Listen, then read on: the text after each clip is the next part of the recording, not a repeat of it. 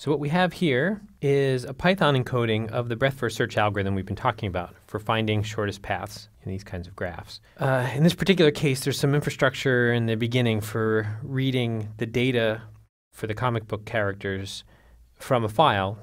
The one that we're using here is tens of thousands of lines long. So it would be very awkward to put it directly into Python, but pretty simple code for just going through, reading it, and then making links into a graph G.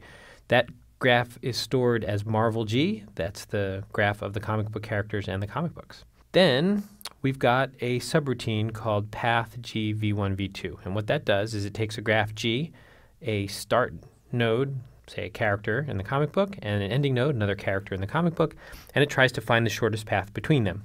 In fact, it will, unless there isn't one.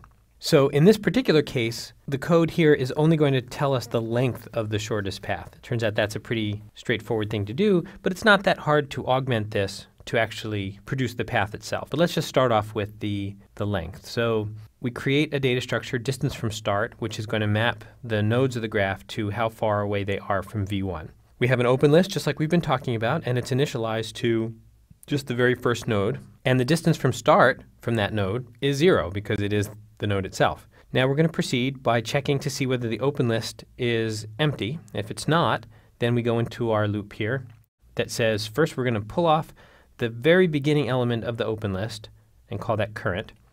And then we're going to delete the very first element of the open list so that it's gone. We're going to talk a little bit later about how to try to make this operation as efficient as possible. But for now, this is, this is okay. It's going to be fast enough. So it takes that off of the open list, and now what are we supposed to do? We loop through all the neighbors. So here we have a statement that says for each neighbor in the list of neighbors of current, what is it going to do? It's going to check to see whether or not that neighbor has been assigned a distance so far. If it, if it has not been assigned a distance, it's because it's not been visited. It's not been marked. And if that's the case, then what we're going to do is we're going to calculate the distance from the start for that node.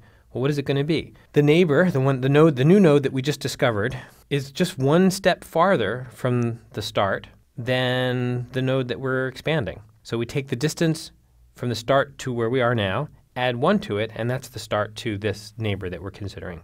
So this is really the key step that is finding the distance of the shortest path. Once that distance has been assigned, we check, hey, was that neighbor the one we were actually searching for?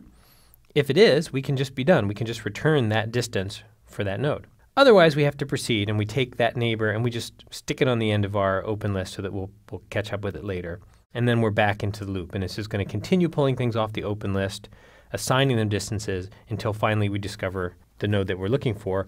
Or if the open list eventually goes completely empty, all this falls all the way through, the while loop is done, and it returns false. So instead of actually returning a distance, it's going to return false, meaning I wasn't able to find a path. It, it, this could also be infinity, uh, which indicates that there is no bound on the, the length of the shortest path. It's infinitely large. In this particular case, I'm running it with um, finding the path from a comic book character called A to one called ZZZax. I figured that was pretty comprehensive if we go from A to ZZZax. And it's a three or four step chain that you get when you do this with the data that we've got.